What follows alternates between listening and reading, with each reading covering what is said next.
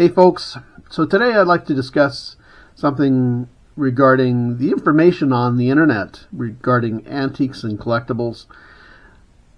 In this particular case, we're going to watch this video, or rather part of this video, uh, entitled Toys from the 1800s. Now, this video has 14 million views. Keep that in mind. These are two toys from the 1800s. This one is called Head of Zack. You get this little sword, and you get this horse. Now, this horse is attached to a spring. It does not come off. However, I can take the sword and slice it clean through the base. No magnets. The way that this works, on this spring here, there's a small rotating hook. And when you push the sword through the hook, it kind of rotates and allows you to get the sword through. This one is known as the Magic Bank, and as you can see here, 1876. But instead of putting the coin. Now, we'll just stop there. Now, he says it's 1876. That's not necessarily the case. Judging by the paint and such, it is a newer version. Now, patents in the US of A, which is where this particular bank was made, range in effect for 20 years. So at 1876, it could have been made as recent as 1896. So he is correct.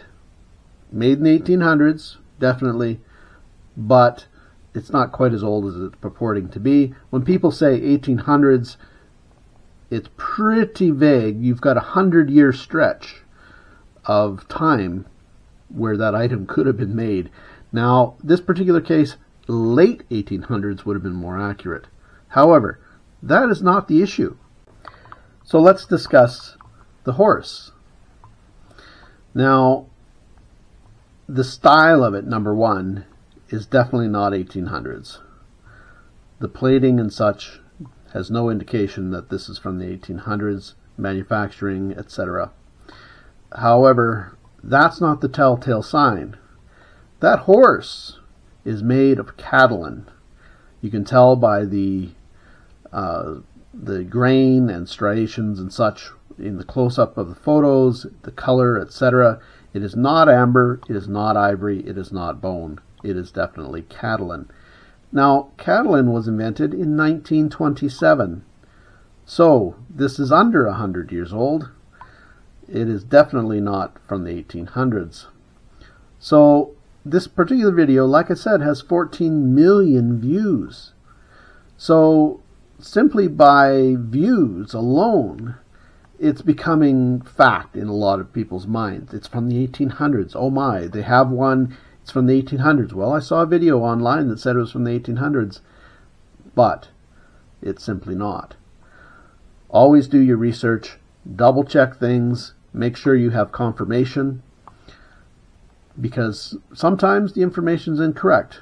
Now, probably an honest mistake. The fellow didn't know. Simple as that. It's very possible there are versions from the 1800s, but this particular version is definitely not from the 1800s. So anyway, thanks for watching, guys. Please be sure to like and subscribe, and check out our other videos on antiquing, picking, thrifting, scrapping, etc. Take care, folks.